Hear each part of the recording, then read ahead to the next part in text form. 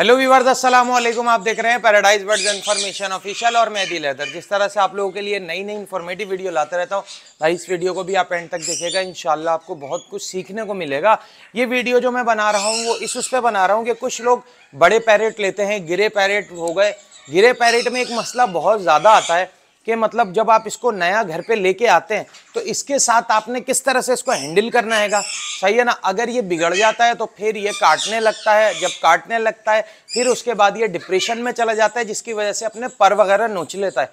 तो मैं आज आपको इस वीडियो में बताऊँगा कि इसको किस तरह से आपने हैंडल करना होता है। जब आप कहीं से भी बड़ा पैरेट एक साल, दो साल या पाँच साल का लेके आते हैं तो उसको किस तरह से हैंडल करना है, वीडियो को एंड तक देखिएगा, कहीं स्किप मत करिएगा। जो लोग नए हैं, चैनल को लाइक, सब्सक्राइब कर ले, ताकि जब भी मैं ऐसी इन्फॉर्मेटिव वीडियो डालूँ, उसका नोटिफिकेशन सबसे पहले आप तक पहुँचे, उसके लिए आप बेल आइकन पे जाके ऑल पे क्लिक कर दें। तो चलें, वीडियो के टॉपिक की तरफ़ वापस आते हैं।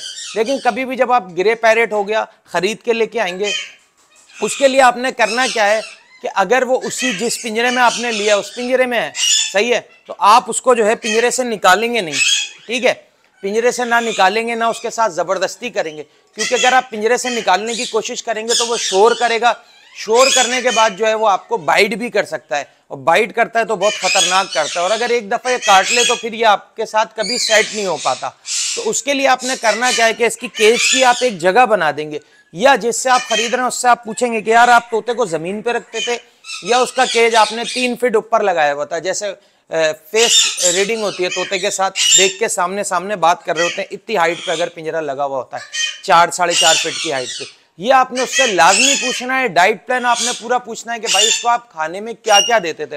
होता क्या है कि आप तोता जो है कोई चीज़ शौक से खाता और आपने उससे पूछा नहीं या उसका डाइट हर कोई अपने अलग अलग तरीके से रखता है, जैसे डे बाय डे कभी कोई सब्ज़ियाँ दे रहा है, एक दिन एक दिन फ्रूट दे रहा है, एक दिन सॉफ्ट फ़ूड दे रहा है, एक दिन एग और ब्रेड दे रहा है। सही है, ये आपने पूछना है। फिर आपने ये पूछना है कि केज कैसे लगाते हैं, ये पूछना है, ठीक है। फिर आपने उनसे ये पूछना है कि भाई, इसको आप ज़्यादा खुला रखते थे या केज में रखते थे?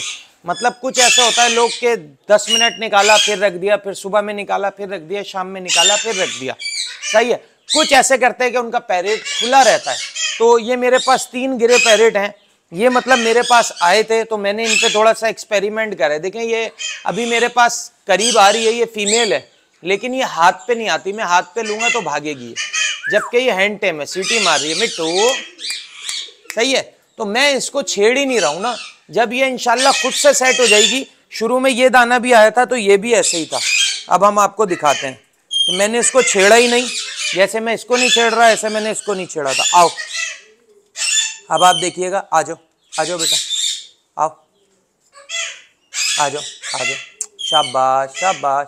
इसके साथ आपने कोई ज़ोर ज़बरदस्ती नहीं करनी। आप ज़ोर ज़बरदस्ती करेंगे, अब हम वेट करेंगे कि ये डंडी पे बैठे तो डंडी से आ जाएगा। दोबारा कोशिश करेंगे इसको लेने की। आओ। आ जाओ। आ जाओ। देखिए, ये नहीं आ रहा। तो ये अब आपने कोशिश नहीं करनी है, ठीक है? अब आपने कोशिश करनी है कि डंडी पे बैठे अभी ये डंडी पे बैठता है, फिर मैं इसको लेके दिखाता हूँ। अगर ये ऊपर चिपका हुआ है तो ये आने में कंफर्टेबल फील नहीं कर रहा है। आओ आओ, ये आ नहीं रहा है, देखें, ये देखें। तो आपने पैरेट के साथ कोई ज़ोर ज़बरदस्ती नहीं करनी है, ठीक है? ये आया था मेरे पास पैरेट तो ये बहुत ज़ोर से बाइट कर रहा था। लेकिन ये केज से आ जाता है तो फिर हाथ पे आता है। जब ये केज में होता है तो नहीं आने देता, क्योंकि कुछ पैरेट ऐसे होते हैं वो अपने आप को केज में सेफ़ फील करते हैं तो वो कहते हैं, हमें बाहर नहीं जाना। तो आपने उनका या तो बाहर आने का इंतज़ार करना होता है या डंडी पे आने का इंतज़ार करना होता है। अभी ये डंडी पे बैठता है तो फिर हम आपको दिखाते हैं। अब देखें ये पैरेट है, इसको मैं लेने की कोशिश करूँगा तो ये बाइट करेगा, सही है? लेकिन इतना ट्रस्ट बिल्डअप कर लिया है मैंने कि ये सर पे खुजाने देता है। ये देखें ये देखें अगर मैं इसके साथ ज़बरदस्ती करूँगा तो ये तोता ख़राब होगा, सही है? ये एक हमारी अम्मा है, ये उनका तोता है, ठीक है? बाहर आएगा ना अभी तो मैं आपको दिखाता हूँ। बाहर आएगा तो फिर आसानी से हाथ पे आएगा। अब विवर्स देख सकते हैं कि अब ये बाहर आ गया है। आ जाओ आ जाओ, लकी लकी, आ जाओ, ये देखें आप। सही है? इस तरह से जो है इनका ट्रस्ट लेवल आपने बिल्डअप करना होता है। जब ये आप पे ट्रस्ट करेंगे, अपने आप को सेफ़ समझेंगे तो फिर ये आपको ना बाइट करेंगे, ना कुछ करेंगे। लेकिन अभी भी मैं इसको पिंजरे में जब हाथ देता हूँ तो ये बहुत ज़ोर की बाइट करता है। सही है? ये देखें, ये पैरेट हाथ पे बैठ के जब खुश होगा, उसकी फीलिंग एक्साइटेड एक्साइटमेंट में होगा तो वो इस तरह से जो है अपने पर चलाता है, ये देखें। पैरेट ने समझे, जब आपको ये करने दिया तो आपने उसका भरोसा जीत लिया। अब हम इसको यहाँ बिठा देते हैं। ओ हो हो। तो मार रही हो उसको? आ जाओ। अच्छा इसको हम ले जाते हैं, वापस छोड़ देते हैं। आ जाओ, इधर बैठ जाओ। अब हम दूसरे वाले का इंतज़ार करते हैं, वो डंडी पे बैठता है, फिर आपको दिखाते हैं। तो विवर देख सकते हैं आप, ये डंडी पे आ गया। अब हम डंडी पे से लेंगे तो इनशाला ये आसानी से आएगा। आ जाओ, खुजाने दे रहा है हमें, ये देखें। आ जाओ। आ जाओ। ये देखें ये देखें। जैसे कि मैंने आपको बताया था। अच्छा ये भी शुरू में इसी मादा की तरह से था कि ये हाथ पे आने से डर रहा था। क्योंकि जब नई जगह होती है, पैरेट ने एक टाइम गुजारा होता है अपनी जगह पे तो वो अपने लोगों को पहचान रहा होता है, अपनी जगह को पहचान रहा होता है, अपने मालिक की खुशबू पहचानते हैं ये। ठीक है?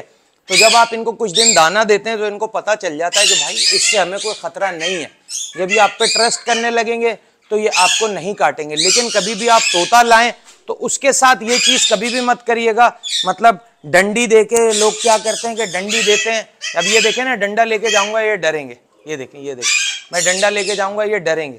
तो आपने ये चीज़ कभी नहीं करनी होती कि पैरेट को आप डंडा दिखाएँ या कोई ऐसी चीज़ दिखाएँ या आपने हाथ पे ग्लव्स पहन लिए, उससे क्या होता है, ये डिस्टर्ब हो जाते हैं। डिस्टर्ब होके ये करते क्या है, मैं भी आपको दिखाता हूँ। एक पैरेट लेके आए थे वो तो वो थोड़ा सा डिस्टर्ब हो गया तो वो करता क्या है, मैं आपको वो दिखाता हूँ। ये देखें, जब तोता डिस्टर्ब हो जाता है तो वो इस तरह से अपनी हालत कर लेता है। मतलब इसने इतनी जल्दी दो चार दिन में जो है ना अपना ये हाल करा है। आप यकीन नहीं करेंगे, दो चार पाँच दिन में इसने अपने आप को पूरा उधेड़ लिया एक बाल भी नहीं छोड़ा। अभी एक दुम का पर निकल रहा है, ये उसको भी नोच देगा।